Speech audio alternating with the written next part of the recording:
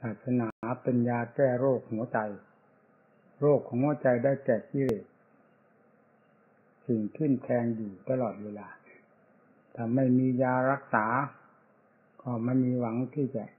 พอบรรเทาความทุกข์ได้บ้างเลย เช่นเดียวกับคนไข้ที่ไม่มียาและหมอรักษาเลยแม้แต่ไข้หวัดก็ยังต้องมียา บรรเทาและ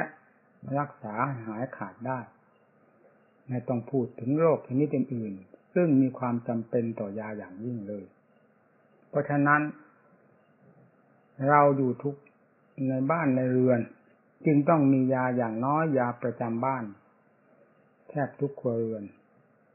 นอกจากบ้านป่าบ้านดงใช่จริงๆทั่วทั่วไปนี้ต้องมียาสำหรับรักษาการเจ็บไข้ได้ป่วยก่อนที่จะไปหาหมอ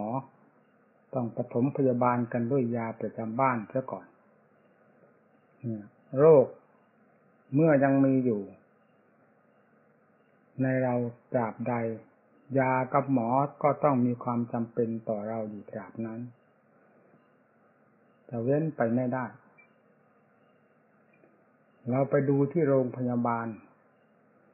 จนกระทั่งเตียงไหนๆก็ไม่เห็นว่างไม่ว่าชั้นไหน ชั้นพิเศษหรือชั้นสาธารณะ ทั่วๆไปเต็มไปด้วยคนไข้ ซึ่งมีความจำเป็นเกี่ยวกับยาและหมอทั้งนั้นแม้จะตายก็มีความจำเป็นเกี่ยวกับยาจนถึงวิสัยของยาและหมอแล้วค่อยปล่อยให้ตายตายไปนั่นก็หายสงสัยหายห่วง ปล่อยให้กันล้มกันตายเฉยๆโดยไม่มียารักษาและหมอมาเกี่ยวข้องเลยนั้น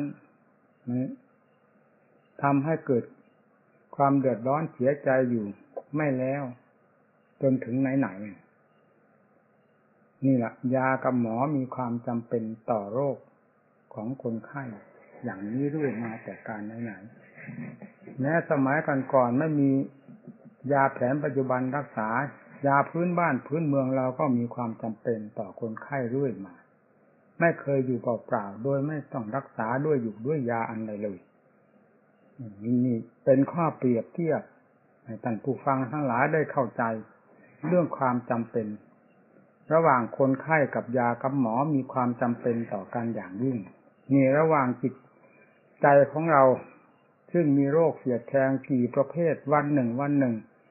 สัมผัสสัมพันธ์ของแสลงมาทิ่มแทงจิตใจไม่ใช่น้อยๆ เป็นโรคกำเริบอยู่ภายในหัวใจโดยคนอื่นไม่รู้ คือไม่ทราบเลยก็มีแยะ ระบายออกมาให้คนอื่นพอทราบได้ก็มี ทางกิริยาอาการและผิวพรรณวันนะไม่ผ่องใสหรือแสดงกิริยาออกมาทางวาจากิริยาทางกาย ให้คนอื่นได้ทราบว่าคนนั้นไม่สบายใจเป็นอย่างยิ่งเพราะกระทบกระเทือนถูกกระทบกระเทือนกับสิ่งต่างๆ ที่ไม่พึงปรารถนา เมื่อปล่อยให้เป็นอย่างนั้นเรื่อยๆหนักเข้าหนักเข้า ความคิดไม่มีการยับยัง้งสามารถที่จะทำคนให้เป็นโรคประสาทหรือเป็นบ้าไปได้เหมือนกัน ด้วยเหตุนี้ธรรมะจึงเป็นความจำเป็นอย่างยิ่ง หรือครูอาจารย์ทั้งหลายยิ่งมีความจำเป็นอย่างยิ่งต่อเรา เมื่อจิตใจมีธรรมะเราก็ย่อมเป็นเหมือนคนไข้มียารักษาโรค มีครูบาอาจารย์คอยแนะนำตักเตือนสั่งสอนดูด่าว่ากล่าวอยู่เสมอก็เป็นเหมือนกับมีหมอมาตรวจอวัยวะ และชี้แจงให้คนไข้ทราบว่าเป็นโรคอย่างนั้นนั้น ควรระมัดระวังสิ่งที่แสลงอย่างนั้น ควรรับยาอย่างนี้ทำนองนี้ ด้วยเหตุนี้ธรรมะกับครูบาอาจารย์จึงมีความจำเป็นต่อเราทุกๆคน ยิ่งเราเป็นมนุษย์ด้วยแล้วยิ่งสูงสักความรู้ก็สูงความเฉลียวฉลาด บรรดาสัตว์ในโลกนี้สู้มนุษย์ไม่ได้ มนุษย์ต้องมีความฉลาดแหลมคมมากกว่า ทุกแง่ทุกมุมนั่นแหละสัตว์อยู่ในน้ำมันก็ค้นออกมาได้ อยู่ใต้ดินวัตถุสิ่งของต่างๆ อยู่ใต้ดินมันก็ค้นออกมาได้ อยู่บนฟ้าอากาศมันค้นมาทำประโยชน์ได้หมด เช่นอย่างไฟฟ้าเป็นต้น เพราะความฉลาดของมนุษย์ แต่ถ้าไม่อาศัยหลักธรรมคำสั่งสอนของพระพุทธเจ้าซึ่งเป็นจอมปราดฉลาดแหลมคม เข้ามาแทรกเข้ามาเป็นยาชโลมหรือเข้ามาเป็นน้ำเชื่อมภายในจิตใจแล้ว ความรู้ความฉลาดทั้งหลายก็ไม่ค่อยจะเกิดประโยชน์ภายในจิตใจ ส่วนภายนอกเป็น เราจะผิดอะไรขึ้นมาก็ได้ เครื่องยนต์กลไกเรือเหาะเรือบินจรวดดาวเทียม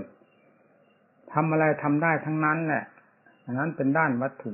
แต่ที่จะมาผิดจิตใจของเราหรือทิศแทงจิตใจของเรา ด้วยอุบายต่างๆ เพื่อชำระซักฟอกโรคภายในจิตใจของเรา ความโลภความโกรธความหลงราคะตัณหาให้ค่อยหมดไป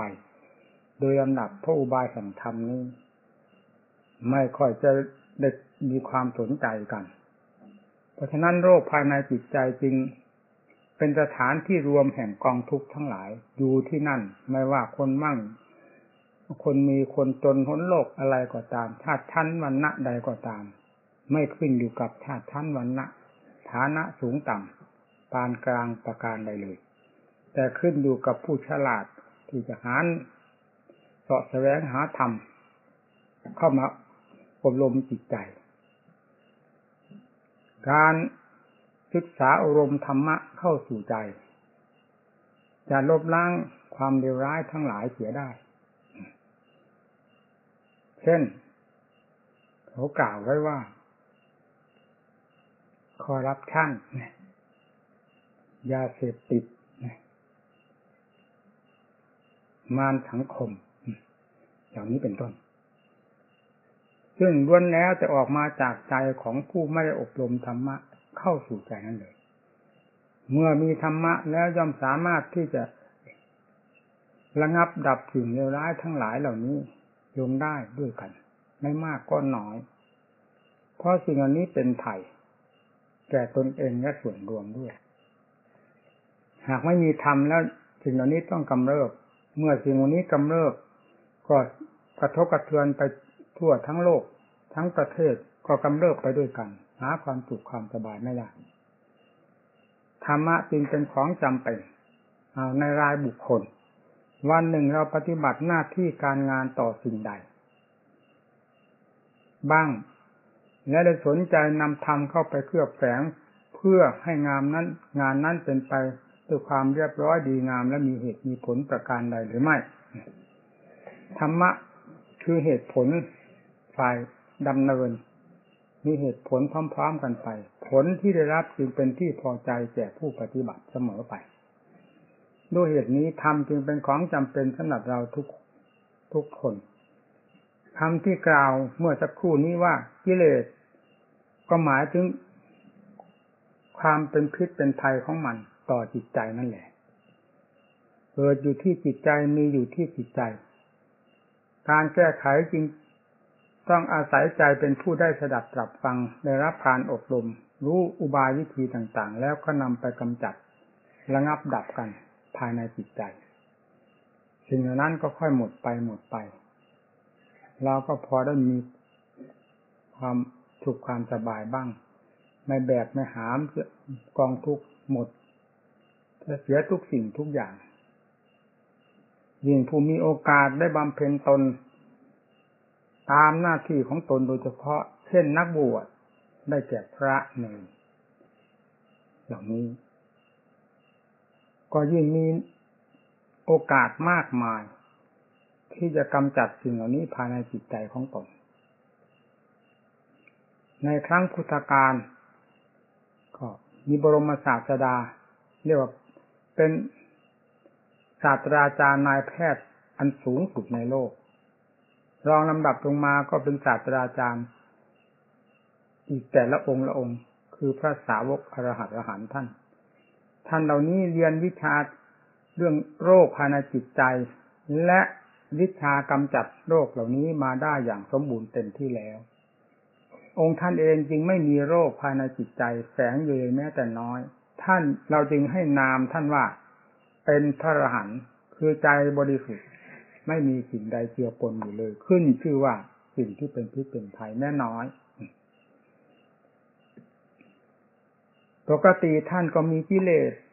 ด้วยกัน พระพุทธเจ้าก็มาเกิดมาในท่ามกลางกิเลสอันสกปรกพระสาวกทั้งหลายก็เกิดในท่ามกลางแห่งกิเลสท่ามกลางแห่งสมมติ แต่ท่านก็พยายาม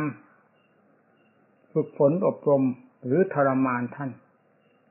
ทรมานกิเลส ที่เป็นภัยต่อจิตใจนั้น ให้หมดสิ้นไปโดยลำดับ จนกระทั่งหมดสิ้นไปโดยสิ้นเชิงความประเสริฐเลิศโลกก็คือจิตใจที่พ้นจากสิ่งกดท่วงทั้งหลายแล้วโดยสมบูรณ์ไม่มีอะไรเกาะเกี่ยวเงียเหนียวอีกได้เลย คือพระจิตของพระพุทธเจ้าเมื่อพระองค์ทรงทราบวิธีการอย่างใดที่ได้ผลมาแล้ว ก็ทรงนำวิธีการนั้นมา สั่งสอนศาสตว์โลกนับตั้งแต่ปฐมสาวกลงมา จนกระทั่งถึงประชาชนเราทุกวันนี้เป็นลำดับลำดับบรรดาสาวกทั้งหลายที่เป็นครังแห่งกิเลสด้วยกัน เหมือนกันกับเราเราท่านท่านนี้ท่านเมื่อได้ยินได้ฟังการอบรมจากพระพุทธเจ้าแล้ว ก็เกิดความซึ้งภายในจิตใจ และรู้โทษว่าเป็นอย่างไร ภายในใจนี้มีโทษอยู่หรือ แต่ก่อนไม่ทราบว่าโทษมันเป็นยังไงภายในจิตใจ มันถึงได้ทำความทุกข์ความทรมาน ตัวสื่ออันสำคัญตัวเหตุอันสำคัญที่ทำให้เกิดความทุกข์ความทรมานอยู่ภายในจิตนี้คืออะไร ไม่มีใครทราบได้ต่อเมื่อพระพุทธเจ้ามาทรงชี้แจงแสดงให้ทราบว่าตัวก่อโทษก่อภัยจริงๆ คือตัวกิเลสประเภทต่างๆ ถึงมีอยู่ภายในจิต ให้กำจัดมันด้วยวิธีนั้น วิธีนั้นวิธีนั้น พระองค์ทรงสอน จนเป็นที่เข้าใจทราบซึ้ง รู้ทั้งโทษ แห่งสิ่งที่เป็นโทษ รู้ซึ้งทั้งคุณของสิ่งที่เป็นคุณ แล้วนำมาประยุกต์กันด้วยความภาคเพียรอย่างเต็มเม็ดเต็มหน่วยไม่อะไรเสียดายจนกระทั่งชีวิต เราไม่ต้องพูดถึงเรื่องจตุปัจจัยทายทานทั้งสี่ว่า ไปอยู่ในสถานที่นั้นจะมีความลำบากขาดแคลนอย่างไรด้วยปัจจัยสี่นี้บ้าง ท่านไม่สนใจ สิ่งที่ท่านสนใจอย่างยิ่งคือความมุ่งมั่นต่อธรรมเพื่อแดนค้นทุกข์โดยถ่ายเดียวเท่านั้น เพราะฉะนั้นจิตใจของท่านผู้มีความมุ่งมั่นต่อความพ้นทุกข์โดยถ่ายเดียว จึงเป็นผู้ที่เลี้ยงง่ายอยู่ง่าย ไปง่าย กินก็ง่าย นอนก็ง่าย อะไรง่ายหมดไม่พลุงพลังวุ่นวาย เหมือนโลกวุ่นวายทั้งหลาย แม้จะเคยได้รับความสุขสบายมาทางโภคสมบัติ หรือทรงอำนาจวาสนาอย่างมากมาย เช่นอย่างเป็นพระเจ้าเคยเป็นพระเจ้าแผ่นดิน มาแล้วเคยเป็นเศรษฐีกระดุมพีมาแล้ว ท่านตัดหมดสิ่งเหล่านั้นไม่เข้ามาเกี่ยวข้องในนิสัยท่านได้เลย นิสัยท่านเป็นนิสัยนักบวชล้วนๆ เพื่อชำระทุกภายในจิตใจ ตามความมุ่งมั่นที่ตั้งไว้แล้วอย่างใด การเป็นอยู่ปูวาจึงไม่ลำบากในบรรดาท่านผู้ตั้งใจประพฤติปฏิบัติเพื่อเพื่อทำอย่างแท้จริง หมดก็หมดก็ทราบแล้วว่าโลกนี้เป็นโลกอนิจจังขาดแคลนก็ขาดแคลนเวลามีก็มีเวลาจนก็จน เวลาขาดตกบกพร่องก็มีเป็นธรรมดา แต่ยังไงเรื่องความภาคเพียรเพื่อถอดถอนที่เลสอันเป็นตัวภัยหรือเป็นเจี้ยนเป็นหนามอยู่ภายในจิตใจนี้ ต้องเอาให้เต็มเม็ดเต็มหน่วย ถอดถอนจนกระทั่งไม่มีสิ่งใดเหลือภายในจิตใจนี่เลยนะท่านไม่บกพร่องในทางความเพียรเพื่อถอดถอนกิเลสสิ่งใดจะบกพร่องท่านไม่สนใจ ถ้าความเพียรบกพร่องเป็นไปต้องขยับกัน ต้องรีบแก้ไขดัดแปลงกันทันที เข้มงวดกวดขันกันเข้าโดยลำดับจนได้สำเร็จเป็นมรรคผลนิพพาน สาวกขึ้นมาเป็นลำดับลำดามีจำนวนมากเท่าไรบรรดาสาวกของพระพุทธเจ้าแต่ละพระองค์พระองค์ที่ได้บรรลุธรรมตามพระพุทธเจ้าตามเสด็จพระพุทธเจ้าทัน ถึงแดนแห่งพระนิพพาน คือความเกษมสำราญอย่างยิ่งไม่มีสิ่งใดเสมอเหมือน เราแม้จะไม่ได้มรรคผลนิพพานดังพระพุทธเจ้าและสาวกทั้งหลายก็ตาม แต่เราก็ปฏิบัติแบบลูกศิษย์ที่มีครู อย่าห่างเหินจากอัดจากทำจะทำจะพูด จะไปจะมา อย่างไรก็พึงมีทำไว้กำกับตนเสมอ ไปที่ไหนมีประโยชน์อะไร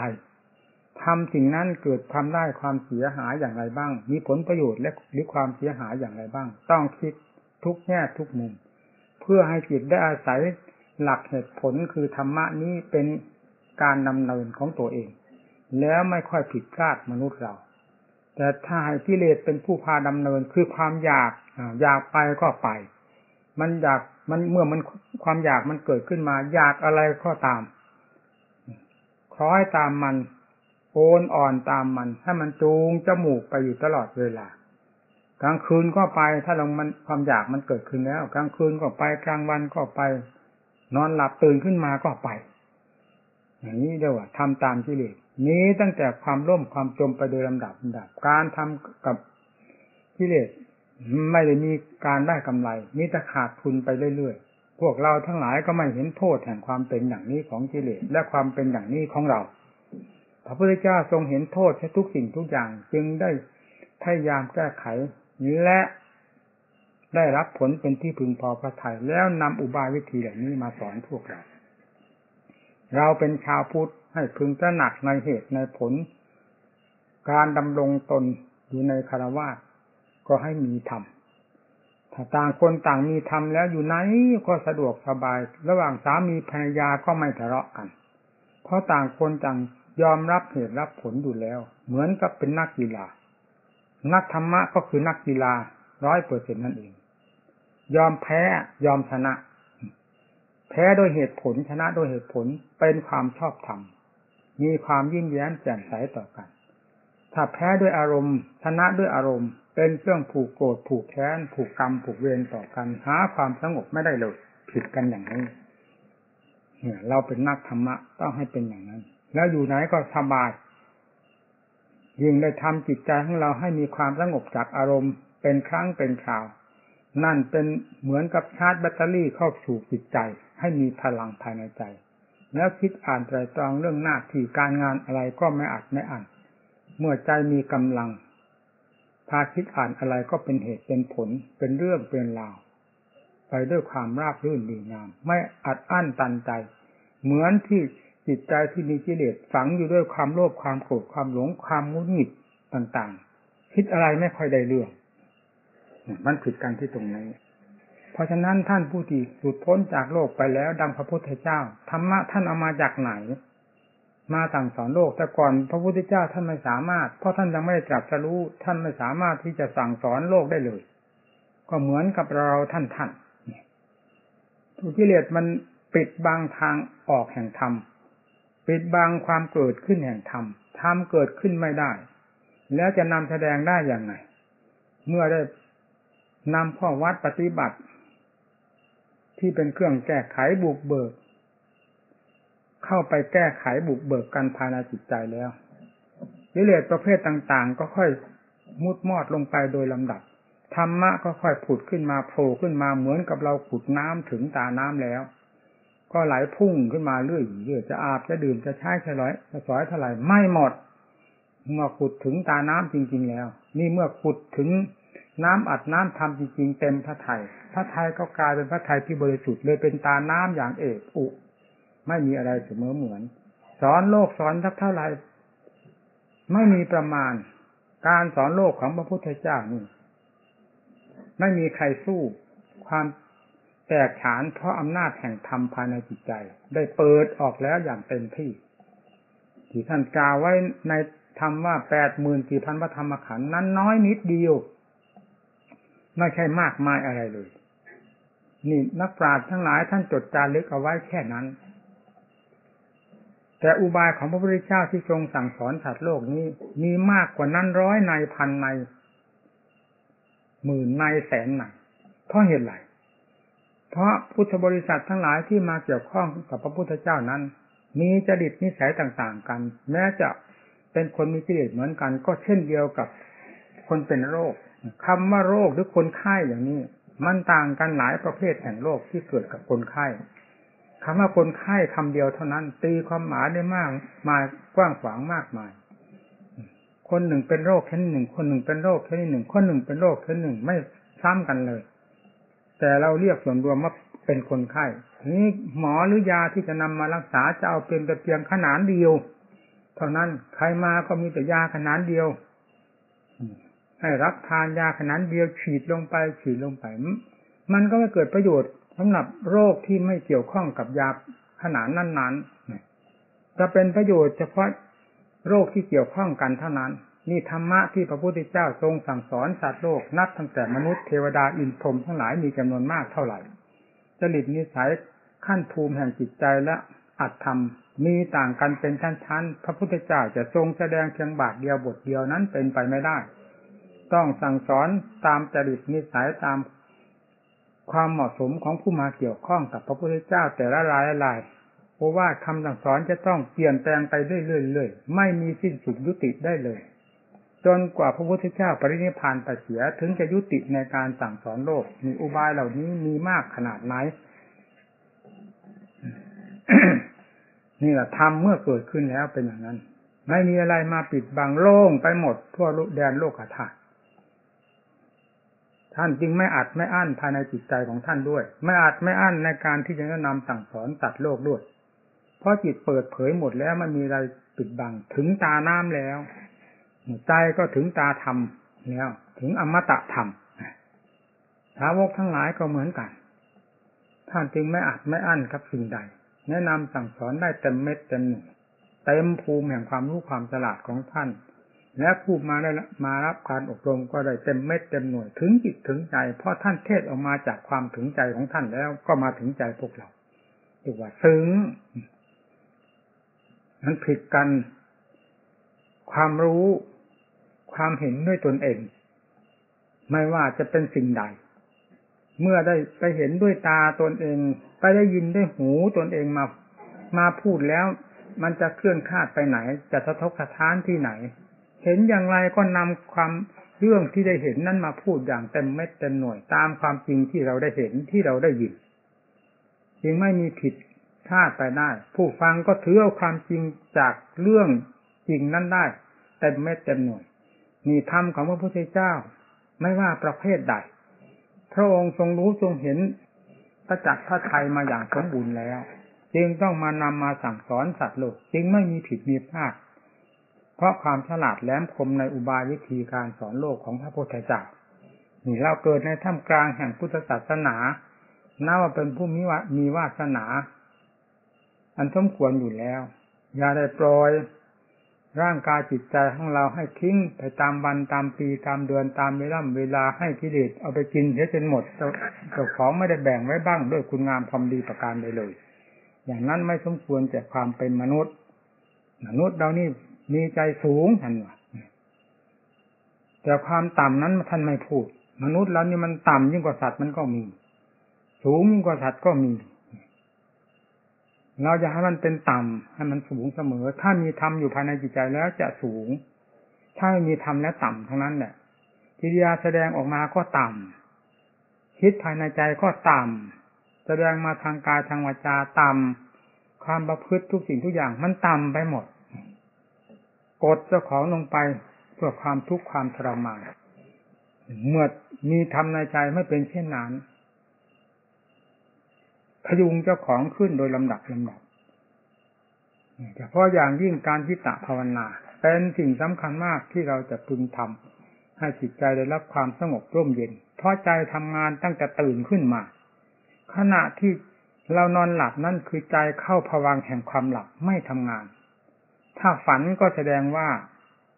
การหลับนั้นไม่สนิท คือจิตไม่ได้เข้าผวังแห่งความหลับเต็มเม็ดเต็มหน่วย จึงต้องฝันเรื่องนั้นเรื่องนี้ไปเรื่อยๆ นั่น ถามว่าการหลับนอนจะมีชั่วโมงเท่ากันก็ตาม ผู้ที่หลับสนิทไม่ฝันในเลย นั้นมีกำลังทางธาตุขันและจิตใจมากกว่ากัน ต่างกับผู้ฝันอยู่มาก จิตใจของเราเมื่อระงับ ความคิดความปรุงทั้งหลาย ซึ่งเคยคิดเคยปรุงมาแล้วตั้งแต่ขณะตื่นนอนมาจนกระทั่งถึงขณะหลับ เราไม่มีเวลาพักผ่อนภายในจิตใจเราเลยนั้นไม่เหมาะสม ตั้งแต่เราทำงานทำการต่างๆ เรายังต้องมีการพัก เช่นเขาทำราชการงานเมืองก็ยังต้องพักเที่ยงว่ะเนี่ยพักวันเสาร์วันอาทิตย์เนี่ยแล้วก็นั้นเรานั้นยังพักเที่ยงอีก งานทางร่างกายก็ยังพักเที่ยงแต่จิตนี้ไม่เคยได้พักเลยนะ ไม่มีวันเสาร์ไม่มีวันอาทิตย์ไม่มีวันพระวันโกนวันญาติวันโยมมีแต่วันวุ่นวายตลอดเวลาหาเวลาพักจิตไม่ได้แล้วเราจะเห็นความสงบที่ไหนเมื่อไม่เห็นความสงบความสุขเราจะเจอที่ไหนกันมันเจอกันไม่ได้ ไม่มีทางจะเจอ เพราะสาเหตุไม่มีให้เจอ แต่การอบรมจิตใจเราด้วยการบังคับบัญชา จิตได้เข้าสู่ความสงบด้วยบทธรรมใดก็ตาม มีสติสตังตั้งมั่นอยู่กับบทธรรมที่เรานำมาบริกรรมนั้นๆ เช่นกำหนดอนาปานสติก็ให้รู้อยู่ลมหายใจเข้าออก นี่เท่านั้นไม่ต้องมุ่งกับอะไรใจของเราย่อมมีความสงบได้ เมื่อใจมีความสงบได้ ความสุขไม่ต้องถามจิตที่หาความสุขไม่ได้ก็เพราะมีแต่ความวุ่นวายสายแสกปรุงหน้าปรุงหลังปรุงเรื่องนั้นเรื่องนี้เข้ามายุ่งกวนใจ อยู่เสมอ ถ้าเป็นน้ำก็ขุ่นเป็นตมเป็นโคลนหาที่อาบดื่มใช้สอยไม่ได้เลยจิตใจที่กวนตัวเองให้ขุนมัวก็เป็นเช่นนั้นเหมือนกัน เพราะฉะนั้นจึงต้องระงับจิตใจที่ขุนมัวด้วยการคิดหน้าที่การงานเรื่องราวต่างๆ ให้เข้าสู่ความสงบเย็นใจเมื่อจิตได้รับ ความสงบแล้วความเย็นเกิดขึ้นมาเอง ความสุขเกิดขึ้นมาเอง ในขณะเดียวกันเราก็ได้เห็นคุณค่าแห่งความสงบ อ๋อ ความสงบเป็นอย่างนี้ แล้วมีความสุขขึ้นมาในขณะที่จิตสงบพักการคิดปรุงแต่งเรื่องราวต่างๆ แล้วก็เห็นโทษแห่งความพุ่งซ่านของจิต ความคิดความปรุงไม่หยุดไม่ยั้งของจิตโดยลำดับจากนั้นเราก็พอฟัดพอเหวี่ยงกันไป พอหลุดพออีก พอแก้ไขดัดแปลงกันไปเรื่อยๆเมื่อมีช่องทางพอให้เราได้จับเงินได้แล้วครูบาอาจารย์ทั้งหลายที่เป็นครูเป็นอาจารย์ สอนพวกเราในทางปฏิบัติ ท่านทำอย่างนั้นจริง ๆ ท่านถือเป็นเนื้อเป็นหนังเป็น เอาเป็นเอาตายจริง ๆ กับหน้าที่การงาน เพื่อฝึกฝนจิตใจปราบปรามกิเลสซึ่งเป็นข้าศึกของใจให้ค่อยหมดไปหมดไป ความสงบก็มีขึ้น ความสว่างสวายภายในจิตใจก็มีขึ้น ความปลอดโปร่งโล่งโถงภายในใจก็มีขึ้น ความสว่างกระจ่างแจ้งก็เพิ่มขึ้นโดยลำดับลำดับ ภายในใจ จนกระทั่งมีความสว่างจ้าไปหมด ไม่มีอะไรมาปิดบังลี้ลับได้เลย เพราะสิ่งปิดบังลี้ลับล้วนแล้วแต่เป็นกิเลสได้สำลอกเปาะหมดแล้วไม่มีเหลือ เหลือตั้งแต่ทองทั้งแท่งหรือว่าทำทั้งดวงอยู่ภายในจิตทำเป็นจิตจิตเป็นธรรมมีเท่านั้น ของประเสริฐในโลกนี้คือจิต แต่ที่หาความประเสริฐไม่ได้ก็เพราะ สิ่งเลวตามต่ำช้าทั้งหลายเข้าไปกลุ่มรุมจิตใจ จนมองหา หาตัวจริงความประเสริฐของใจไม่มีด้วยเหตุนี้จึงต้องชำระสาสางเหมือนกับสิ่งที่สกปรก เราชำระสาสางลื่นล้างด้วยน้ำอันสะบะอันสะอาด สิ่งที่สกปรก นั้นมันก็ค่อยสะอาดไปเองจิตใจที่สกปรกก็ลองต้องล้างด้วยศีลด้วยธรรมด้วยคุณงามความดี ซึ่งเปรียบเหมือนกับน้ำที่สะอาด เมื่อชาล้างอยู่เสมอ นั้นก็ค่อยมีความผ่องใสขึ้นมา รู้เหตุรู้ผลรู้จักผิดจักถูก รู้จักบุญจักบาป รู้จักคุณจักโทษ รู้จักนรกสวรรค์ขึ้นภายในตัวเองนี้โดยลำดับลำดับเมื่อเป็นฉะนั้นวิธีการที่เราจะปฏิบัติ ต่อสิ่งใดที่จะเป็นสิริมงคลแก่ตัว และสิ่งใดที่จะเป็นอัปมงคลแก่ตัวมันก็รู้ เราก็ไม่เหมาเอากองทุกข์เยอะทั้งหมดทั้งหมดเหมือนอย่างที่เคยเป็นมา เทศไปเทศไปก็รู้สึกหน่อยเอาละเพียงแค่นี้